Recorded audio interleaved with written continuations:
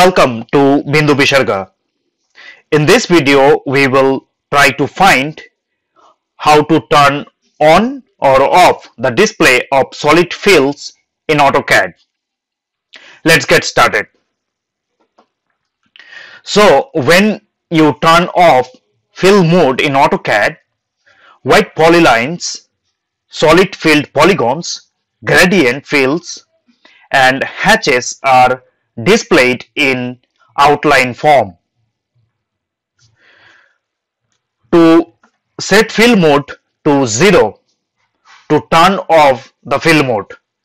This turns off the display of solid fills.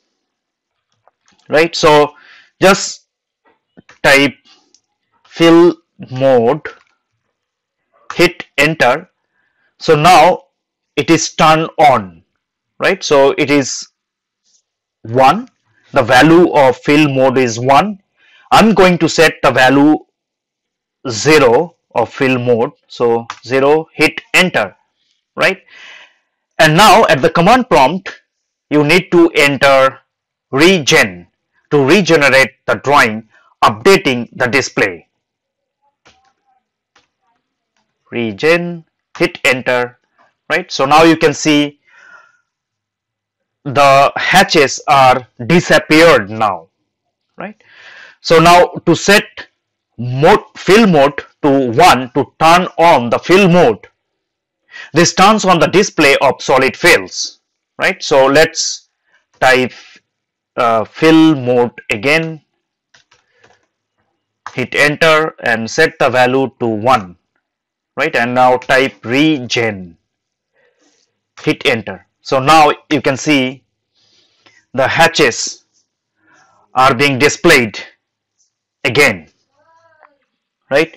So, you know, the regen command, we, we need to remember that except for patterns, hatch patterns and uh, gradient fills, solid fills is automatically turned off for hidden view and non-plan views in three-dimensional three-dimensional drawings, right?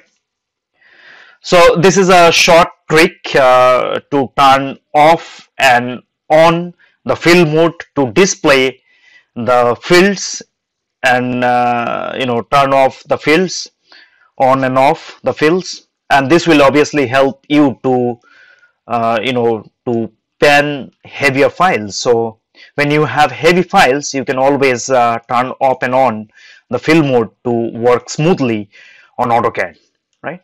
So thank you very much for your time. See you later. Bye-bye.